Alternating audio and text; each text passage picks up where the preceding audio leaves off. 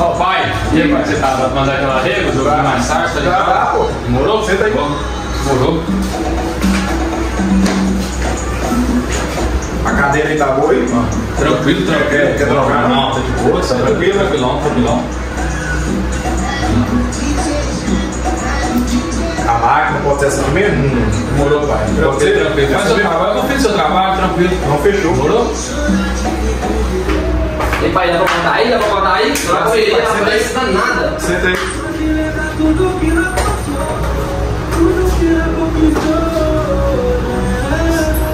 Você lavou, você lavou isso aqui, pai? Tá lavado. Lavou esse fone aqui? Tá lavado.